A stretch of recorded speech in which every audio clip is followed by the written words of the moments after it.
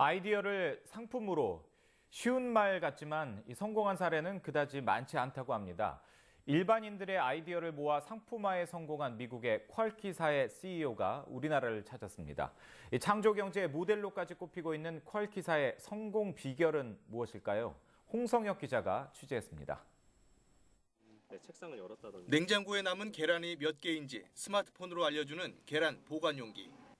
배를 가르지 않고도 동전 크기를 감지해 얼마가 들었는지 알려주는 저금통. 모두 일반인이 낸 아이디어를 상품화한 미국 퀄키사의 제품들입니다. So we like to say the, the best ideas in the world come from the living room, not the boardroom.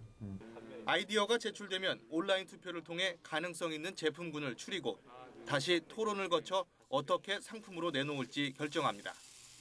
각 제품 상자에는 누가 이 아이디어를 냈고 몇 명이 상품 개발에 참여했는지가 표시되어 있습니다.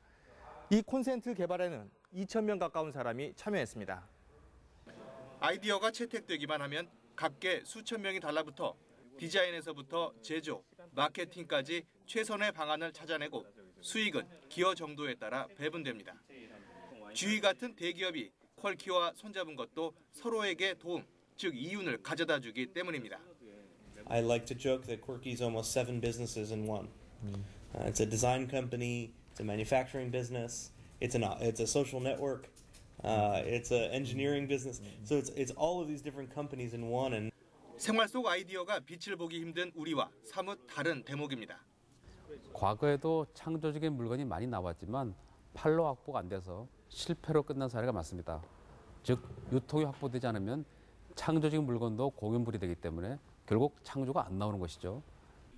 퀄키 측은 퀄키의 사업 모델은 참여와 협력이 중요하다면서 함께 만들어가는 협업을 강조했습니다.